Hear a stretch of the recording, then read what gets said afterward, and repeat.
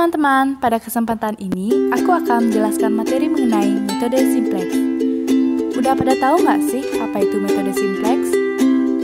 Metode simplex merupakan salah satu teknik penyelesaian dalam program linear yang digunakan sebagai teknik pengambilan keputusan. Dalam suatu permasalahan, di mana permasalahan ini berhubungan dengan pengalokasian sumber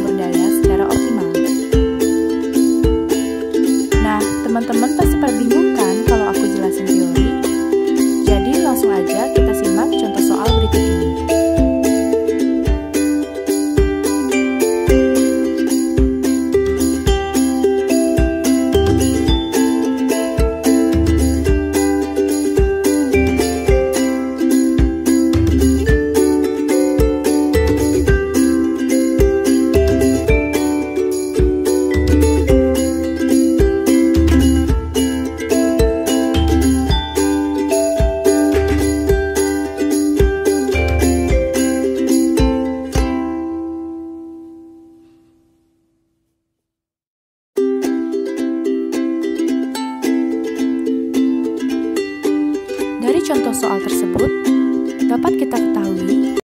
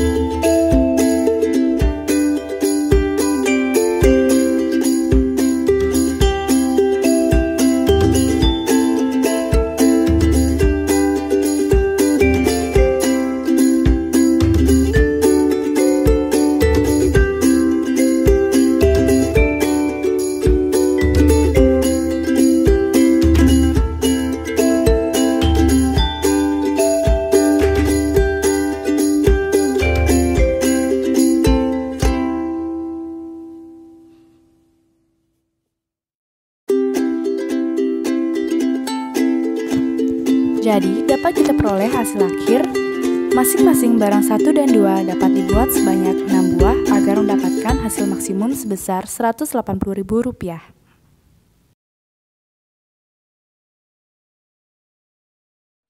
Nah, teman-teman, itu tadi contoh penyelesaian dari metode simplex. Gimana? Mudah kan? Sekian dari aku. Jangan lupa untuk like, comment, dan subscribe. Sampai jumpa di videoku berikutnya ya. Terima kasih.